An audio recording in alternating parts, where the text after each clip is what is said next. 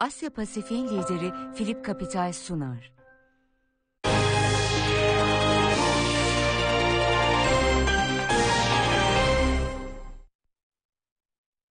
Asya piyasalarıyla karşınızdayız. İlk durağımız Pekin. Bloomberg KT Pekin temsilcisi Sadi Kaymaz bizlerle birlikte. Özellikle Sadi çok yoğun bir gündemle başlıyor Özel Asya piyasaları e, yeni haftaya. Bu çerçevede bir yandan Çin Komünist Partisi'nin 100. kuruluş yıl dönümü. Diğer taraftan yine Delta varyantı üzerinden yürüyen tartışmalar. Çin ve Hindistan arasındaki askeri gerginlik bunların hepsi önemli. Bir de elbette Çin'in Tesla araçlarına yönelik uygulamaya devam ettiği baskıda sürüyor. Araçların geri çağrılması üzerine. E, açıl öncelikle iyi haftalar. E, evet gerçekten şöyle bakıyorum. Bir taraftan jeopolitik var, bir taraftan şirket haberleri ama müsaadenle önce e, sağlık diyeceğim. E, zaman zaman seninle konuşuyorduk. E, Delta varyantı diyorduk. E, şu anda gerçekten e, ASEAN diyelim ya da Güneydoğu Asya ülkeleri tam anlamıyla alarmda hatta bazı ülkeler e, maalesef delta'nın pençesine düşüyor diyebilirim. E, net örnekler de vereyim notlar aldım e, açıl. E, örneğin Endonezya'da e, rekor e, seviyelerde vakalar var.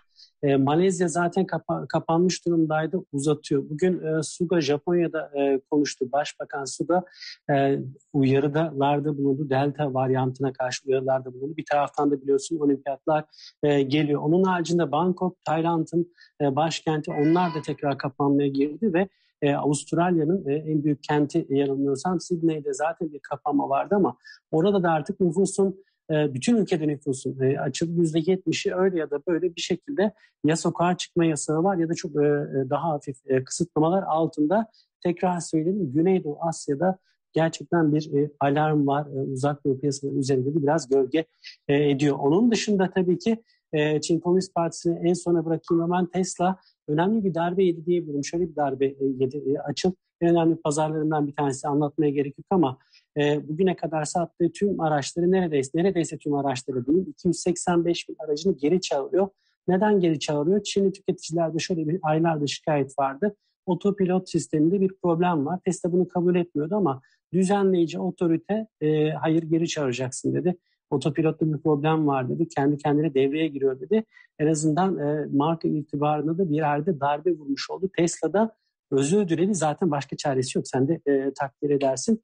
ÇKP'nin e, 100. yıl e, dönümü Perşembe'ye denk geliyor yanılmıyorsam 1 Temmuz e, günü tabii 100 yıl nereden nereye açıl? E, e, bir defa zaten 100 sene önce e, buradaki yönetimin o zaman Komintern ya da milliyetçi yönetimin diyelim e, çarıklı askerler olarak gördüğü bir parti daha daha sonra önce Çin'i ele geçiriyor e, rejimi e, kuruyor, komünist e, rejimi kuruyor ve özellikle son 20-30 yılda da dünya sahnesine doğru e, çekilecek. E, dolayısıyla e, Xi Jinping konuşacak Perşembe günü e, muhakkak ki tabii ki bu 100 senedeki de başarılarla övünecek. Onun ötesinde de tabii ki Xi Jinping büyük diriliş e, emeli koydu ortaya açıp e, Çin'i tekrar e, bir süper güç haline getirmek istiyor e, muhtemelen gelecekteki hedeflerine ilişkin de e, konuşabilir. Orada da tabii ki piyasayla ilgili ya da sektörel bazda e, bir takım önemli şeyler söyleyebilir diyeyim. Sözü tekrar sana bırakayım. Sadi teşekkür ediyoruz aktardığın notlar için. Böylelikle Asya piyasalarını tamamladık. Yatırım kulübüne başlıyoruz.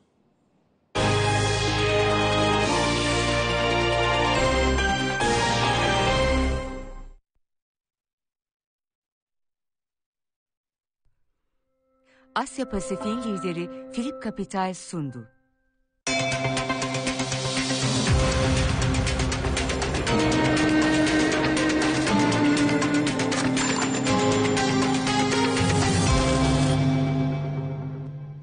Yatırım Kulübü'ne hepiniz hoş geldiniz. Bugün Yatırım Kulübü'nde Kofas ekonomisti Seltem İyigün bizlerle birlikte. Seltem hoş geldin yayınımıza.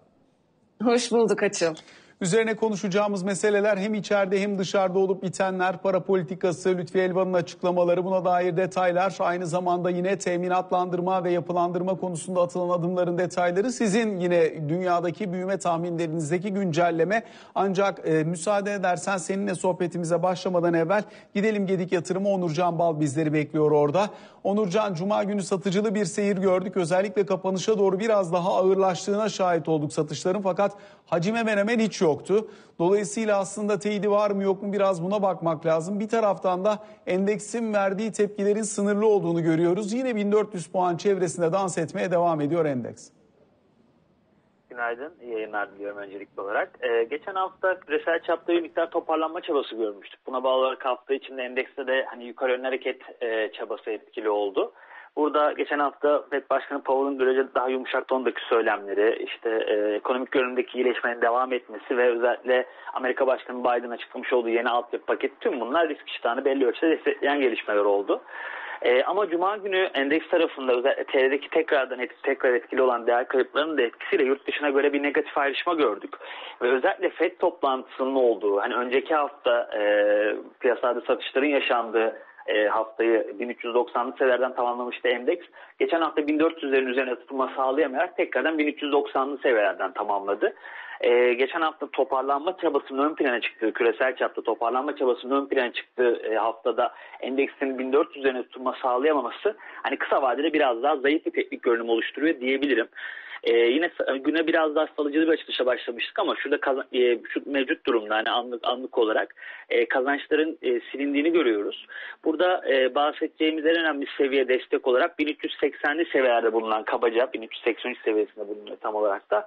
E, 200 günlük basit hareketli ortalama. Bu ortalama geçmiş dönemlerde destek olarak çalışmış ve bu, çalışmış ve buradan bir tepki dönüşün olduğunu, tepki alımlarının yaşandığını görmüştük.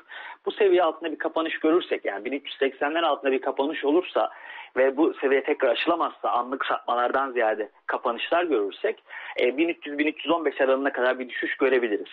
E, bu taraf risk oluşturuyor. Mevcut durumda endekste kısa vadeli teknik görünüm zayıf seyrediyor.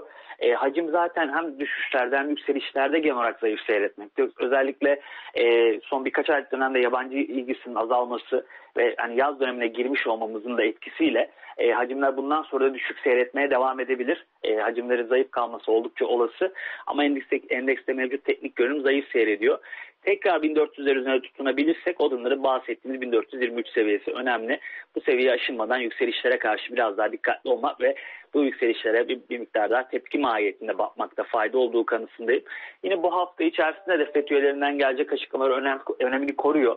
Özellikle ilerleyen süreçte piyasalar tarafında fiyatlamalar ve risk iştahları belirleyici olacak temel konu, konu ekonomik gerçekleşmeler, ekonomik veriler ve bunların bu e, ekonomik gerçekleşmelere bağlı olarak merkez bankalarının ortaya koyacağı tutum olacaktır. Bu risk iştahını belirleyecek. Dünya çapında aşılama risk kazandı. Vaka e, oranları belli, büyük oranda kontrol altına alındı. Normalleşme adımlarını takip ediyoruz ama e, Hindistan merkezi delta varyantının gelişimi önemli olacaktır. Yani Avrupa'da, Amerika'da, dünyanın birçok ülkesinde görülen bu delta varyantı ki Türkiye'de de yine vaka bu e, varyantta vaka olduğu açıklandı. Vaka sayılarını yeniden arttıracak olursa ve belli oranda normalleşme adımları ötenir veya belli sınırlı da olsa kısıtlamalar yeniden gündeme gelecek olursa o da bir miktar risk iştahını bozabilir. Bu cephedeki gelişmelerin yakından izlenmesi gerektiği kanısındayız. Onurcan çok teşekkür ediyoruz sana aktardığın bu değerlendirmeler için. Kısa bir aramız var sonrasında Seltem İyi Gün'le birlikte karşınızdayız.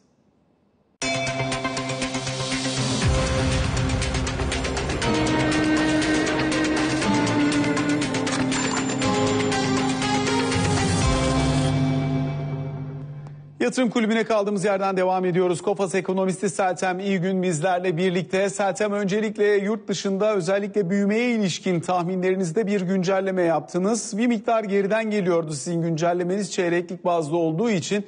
Dünyada oldukça kuvvetli bir ekonomik aktivite var. Ne bekliyorsunuz şu anda dünya ekonomik büyümesini ve bölgesel bazda durumu?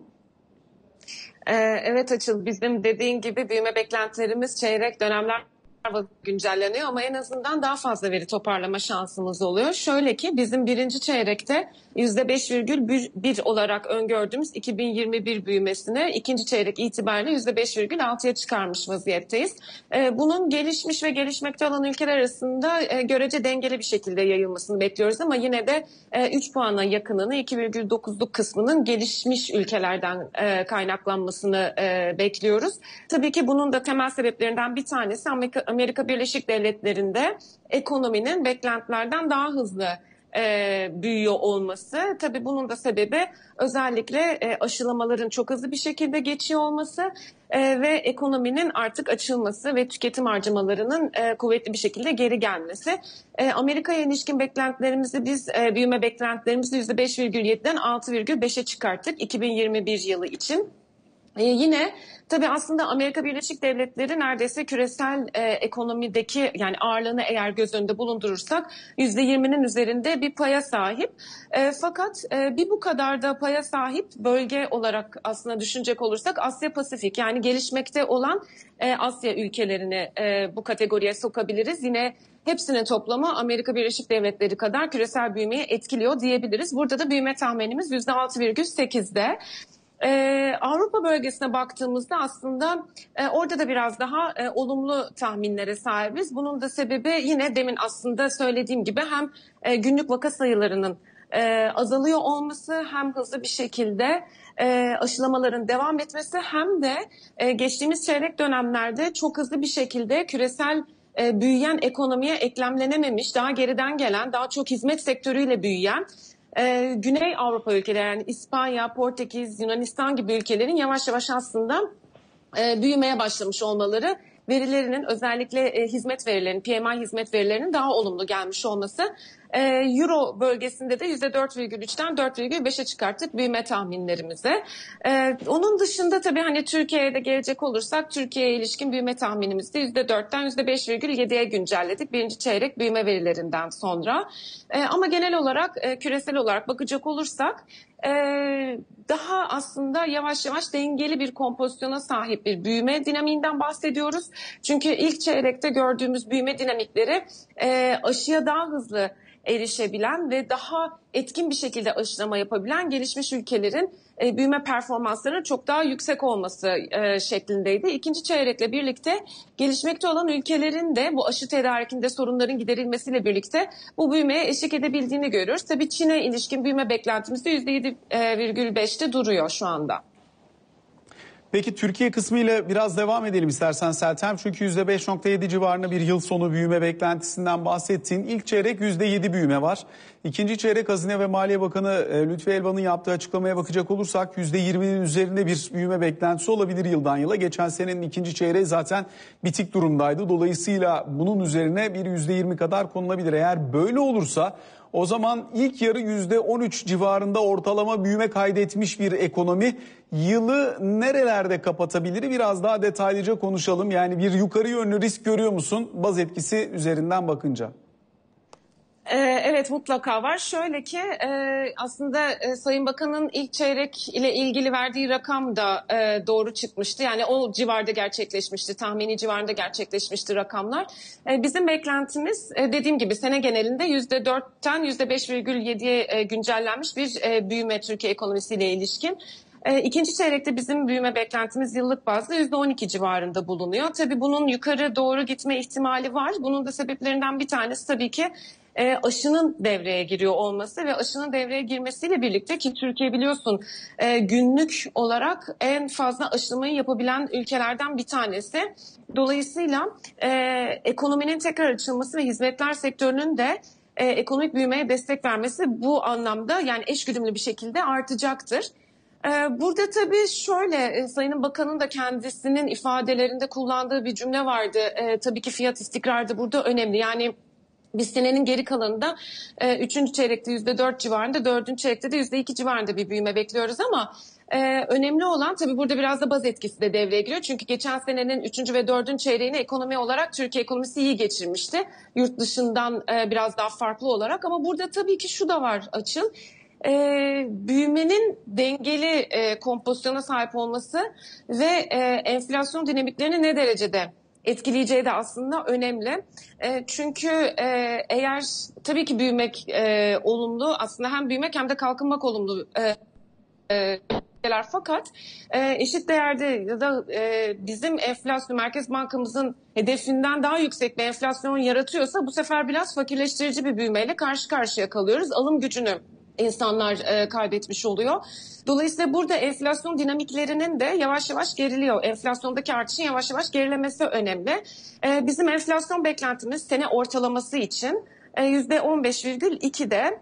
E, bunu da %13,4'ten yukarı güncelledik. Bunda temel sebeplerinden bir tanesi aslında e, kurdaki artış. Çünkü e, biliyorsun Türkiye'de imalat sektörünün yapısı e, oldukça her ne kadar son dönemlerde azalmaya başlamış da olsa özellikle bazı sektörlerde oldukça yüksek bir şekilde ithal girdiye bağımlı. Dolayısıyla %38'ler civarında bir e, üretici maliyetiyle şu anda karşı karşıyayız. Emtia fiyatlarındaki artış da göz önüne alındığında bunun yüzde önümüzdeki aylarda yüzde 40'lara 40'ın biraz daha üstüne atma ihtimali var.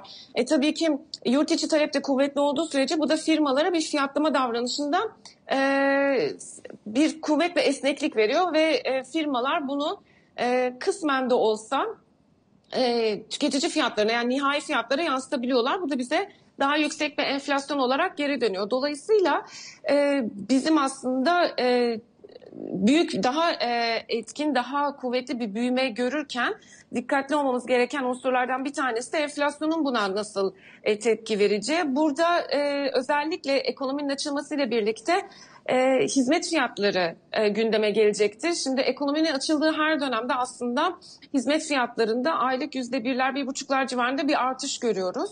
E, bu da tabii ki hizmet fiyatlarında bir katılığı gündeme getiriyor. Bunu biz önümüzdeki dönemlerde de görmeye devam edebiliriz. Özellikle yaz aylarına girmiş olmanın e, etkileriyle birlikte turizm sektöründe, lokanta ve oteller tarafında ve tabii ulaştırma fiyatlarında da e, yüksek e, oranlı artışlar görebiliriz. Bu da çekirdek enflasyonu aslında e, olumsuz etkileyen unsurlardan bir tanesi. Bir diğeri de kurdaki artış. Kurdaki artış bu şekilde devam ettiği takdirde bu sefer altın hariç dayanıklı mallarda %30'lara kadar çıkmış yıllık enflasyonun daha da yukarı gittiğini görebiliriz. Çünkü biliyorsun dayanıklı tüketim maddelerinin fiyatları e, kurdaki e, oyna, volatiliteye, kurdaki yani TL'deki değer kaybına e, oldukça hassas. Geçtiğimiz Kasım ayında hatta %5 civarında bir aylık artış görmüştük. Dolayısıyla evet büyüme performansı olarak e, daha e, olumlu bir görünümle karşı karşıyayız. Cari açık tarafındaki daralmanın geçen seneye göre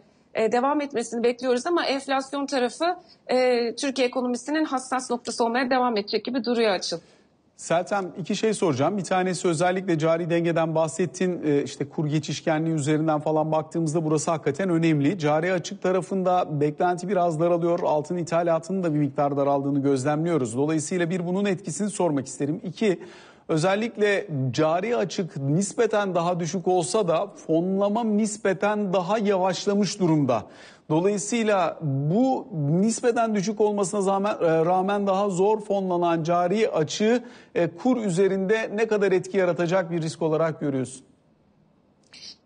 Ee, önce ilk soruna e, başlayayım Açıl altın e, ithalatı kısmıyla. Şimdi e, senenin ilk dört ayına baktığımızda aslında e, geçtiğimiz senenin aynı dönemine göre nette net altın e, ihracatı olarak bakalım. E, daha doğrusu e, geçtiğimiz seneye nazaran %50 daha az aslında e, altın ithal etmişiz. Geçen sene bunun sebeplerinden bir tanesi özellikle hane halkının enflasyonist risklerden korunmak için e, dolara ya da altına yatırım yapması nedeniyle dolar ithalatı e, özür dilerim altın ithalatımızın artmış olmasıydı. Şu anda e, kredi faizleri daha yukarı geldiği için e, o kadar fazla e, likitte konusunda geçtiğimiz seneki kadar rahat bir ortam yok. Dolayısıyla insanların daha ucuz fonlamayla yani ucuza kredi alıp e, altına ya da dolara yatırım yapmasının en azından trend olarak bu sene daha yavaşladığını görüyoruz. Dolayısıyla evet altın e, ithalatının azalması ki son ayda biz e, nette altın ihracatçısı olmuştuk, e, olduk daha doğrusu. Dolayısıyla buranın dengeye gelmesi evet e, cari açık açısından önemli. Zaten e, çekirdek cari açığa baktığımızda yani enerji ve altın hariç e, cari açığın 12 aylık e, gidişatına baktığımızda burada yaklaşık e, 10 milyar dolarlık bir fazlamız var. E, dolayısıyla aslında Türkiye'nin temel e, e, harcamalarının daha çok enerji tarafında olduğunu söyleyebiliriz bu sene. İkinci soruna gelecek olursak, e, evet fonlama tarafı e, Türkiye'nin e, biraz zorlandığı e, noktalardan bir tanesi. Çünkü önceki senelere kıyasladığımızda e, hem doğrudan yatırımlar tarafında hem portföy yatırımları tarafında bir yavaşlama söz konusu. Hatta nette portföy yatırımlarında bir kış olduğunu görüyoruz. E, e, portföy pardon doğrudan yatırımlar tarafında da daha çok e, gayrimenkul tarafına doğru bir yatırım olduğunu görüyoruz ki aslında e, TL'deki değer kaybından dolayı önümüzdeki aylarda buraya da yabancı girişinin biraz azaldığını görebiliriz. Çünkü neticesinde yabancıların da aldığı e, gayrimenkuller dolar bazında aslında TL değer kaybettikçe e, değer kaybediyor. Dolayısıyla burada da bir yavaşlama olduğunu görebiliriz. Fakat bu bize ne olarak geri dönüyor?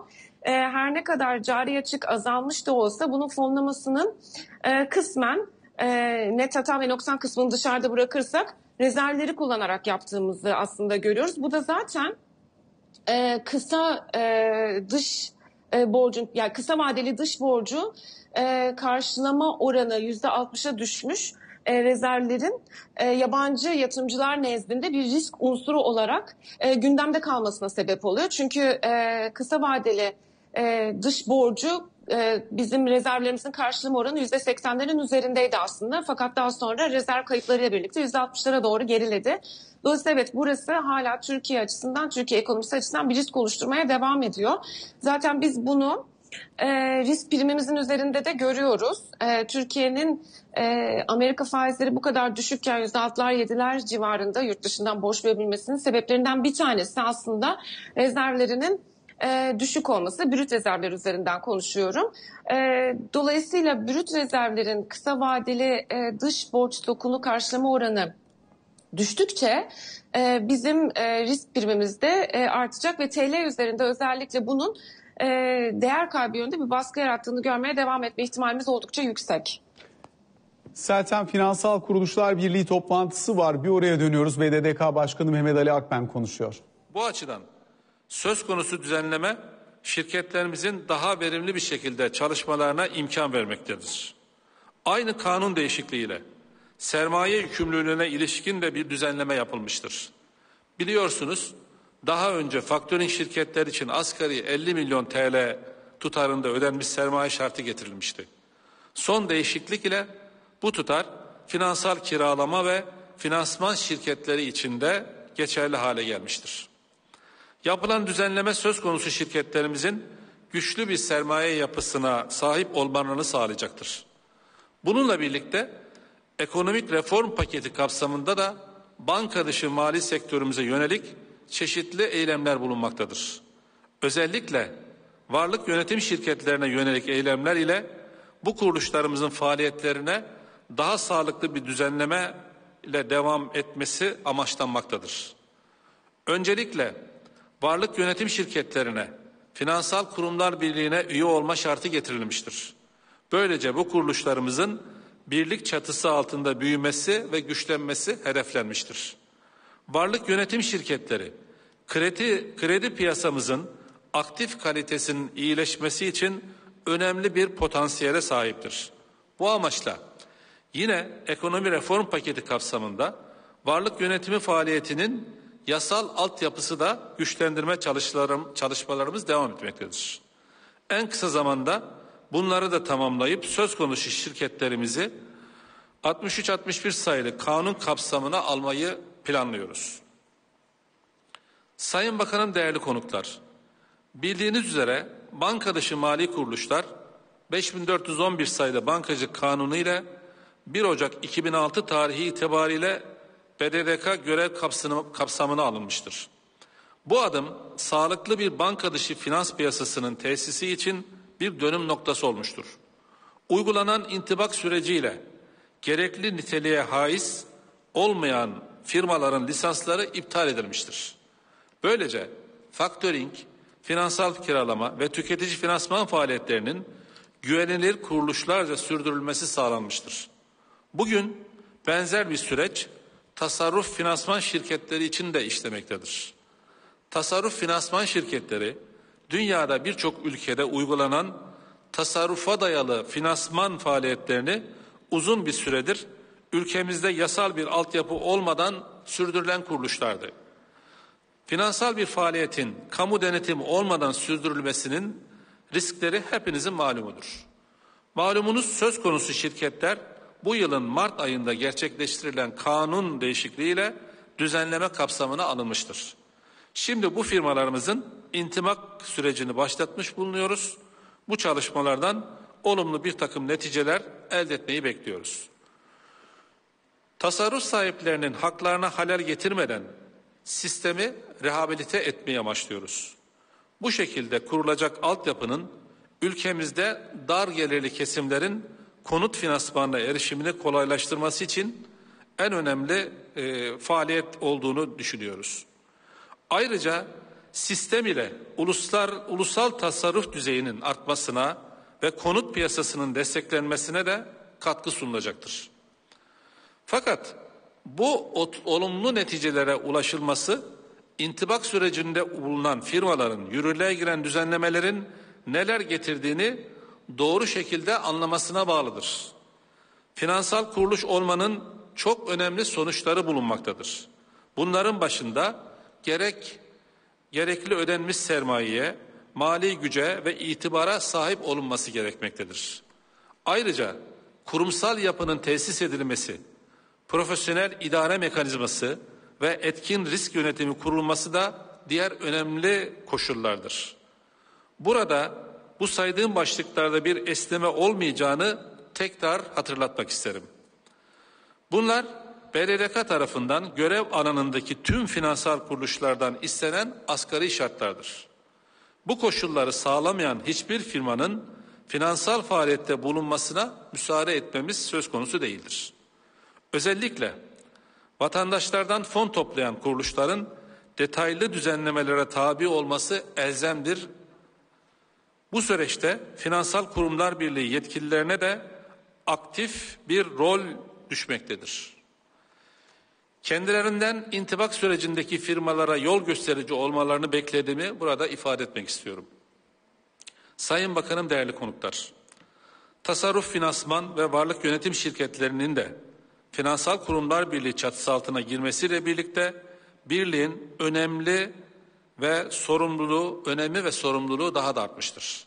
Bu kapsamda birliğin kurumsal yapısının güçlendirilmesi, bünyeye yeni katılan şirketlerin temsil edilebilmesi için birlik statüsü geçtiğimiz günlerde revize edilerek Cumhurbaşkanlığı kararı ile resmi gazetede yayınlanmıştır. Bundan sonra biraz önce de belirtildiği gibi bu kuruluşlar artık bir çatı finansal kurumlar birliği örgütü altında faaliyetlerini sürdürecekler ve bu onların gelişimi açısından çok son derece önemli bir kuruluş haline gelecektir. Sözlerime burada son verirken Finansal Kurumlar Birliği'nin 9. olağan genel kurulunun hayırlara vesile olmasını diliyorum. Hepinize pandeminin sona erdiği daha güzel günlerde, daha güzel ortamlarda BDDK Başkanı Mehmet Ali Akbil'in açıklamalarından bir bölümü aktardık. Kopas ekonomisti Seltem İlgün'de sohbetimize kaldığımız yerden devam ediyoruz. Seltem özellikle yine Cuma günü Lütfi Elvan'ın açıklamalarının içerisinde yer alan unsurlardan bir tanesi. Kredi Garanti Fonu'ndaki teminat yapısının ve bundaki işleyişin değişebileceği bir miktar güncellenebileceğine dönüktü. Ne beklenebilir? Etkisinin ne olmasını beklersin diyeyim son soru olarak. Ee, şöyle aslında Açıl bu tabii ki e, pandemi döneminde, salgın döneminde nakit akışı bozulan firmalara bir kredi desteği verilmesi açısından olumlu olacaktır. Ee, biz şu anda geçtiğimiz senenin bilançolarının bir kısmını almaya başladık. Ee, görebildiğimiz kadarıyla aslında senenin 3. ve 4. çeyreğindeki toparlama e, firmaların özellikle nakit akışlarına ve cirolarına olumlu yansımış. Yani e, gördüğümüz tablo ilk başta salgın döneminde korktuğumuz tablo kadar e, aslında e, bozulmaya işaret etmiyor. Ama tabii ki e, firmalara herhangi bir konuda e, e, kredi desteği verebilecek kurumların teminat yapılarının e, daha da iyileştirilmesi özel sektörde özellikle Türkiye gibi e, kronik olarak e, öz sermayenin zayıf olduğu, borçluluğun yüksek olduğu ve karlılığın düşük olduğu bir sistemde çalışan e, özel sektör için oldukça e, önemli diye ben değerlendiriyorum. E, tabii e, özel sektör özellikle imalat sektörü tabii hem yurt içi e, hizmet sektörünün e, açılması, ekonominin açılmasıyla birlikte talebin artması hem de yurt dışından talebin e, ihracat kanalıyla devam etmesi e, Türkiye ekonomisi için ve özel sektör için olumlu. Bizzat e, son çeyrekten itibaren Türkiye'de e, otomotiv, e, kimya, e, kağıt ve metaller sektörüne ilişkin e, görünümü güncellemiştik e, ve sektörlerdeki bu olumlu gidişatın e, devam etmesini açıkçası bekliyoruz. E, tabii ki e, bu bozulan geçtiğimiz salgın dönemi içinde bozulan nakit akışlarının e, düzelebilmesi açısından daha da düzelebilmesi açısından e, ciro artışlarının olması ve karlılıkların yükselmesi olumlu. Bazı sektörlerde bunun olduğunu tespit edebiliyoruz. Özellikle kimya sektörü, metaller gibi. E, şu anda da e, küresel olarak ham madde fiyatlarındaki artışlardan faydalanan Evet. daha ucuza geçen sene stok yaptıkları için e, sektörlerin bu dönemde daha olumlu e, bilançolara sahip olabileceğini değerlendiriyoruz. Seltem teşekkür ediyoruz sana aktardığın bu yorumlar için. Böylelikle yatırım kulübünü tamamladık. Şimdi bir kez daha Asya piyasalarına bakacağız.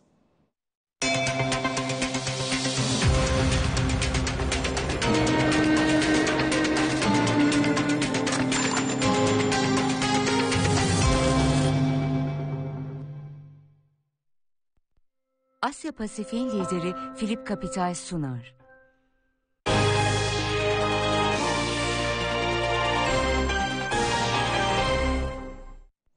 Asya piyasaları için bu kez Dubai'deyiz. Ersoy Erkazancı bizleri bekliyor. Ersoy bir taraftan OPEC toplantısı öncesinde petrol fiyatlaması var. Oldukça kuvvetli yerlere gelmiş durumdayız. Bu bir ayrıca yine özellikle e, bu reisinin seçiminin ardından bir hoş geldin karşılaması gibi Amerika Birleşik Devletleri'nin İran e, milislerine olarak e, yönelik olarak yapmış olduğu bir hava saldırısı var. Bir de İsrail'de Dışişleri Bakanı'nın ilk resmi ziyaretini Birleşik Arap Emirlikleri'ne yapacak olması.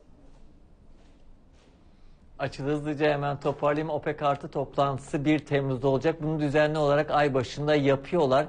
E, fakat fiyatlar iyi. OPEC üreticileri memnun. 76 dolar seviyesi Brent'te son iki senenin en yükseği. Böyle olduğu zamanlar pek gergin veya tartışmalı bir konu geçmiyor.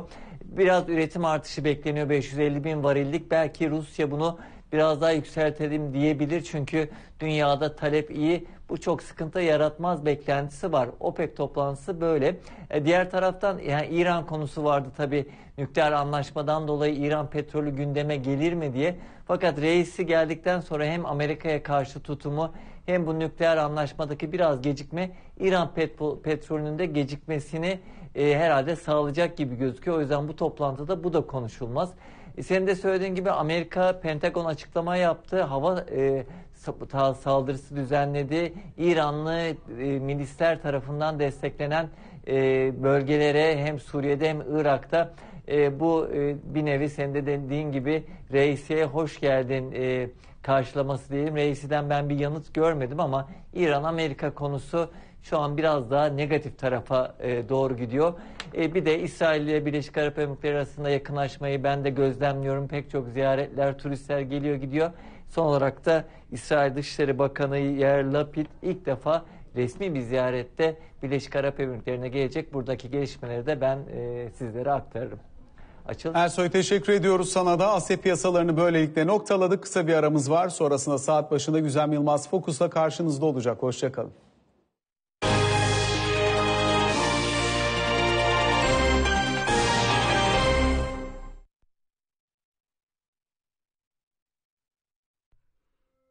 Asya Pasifik'in lideri Philip Capital sundu.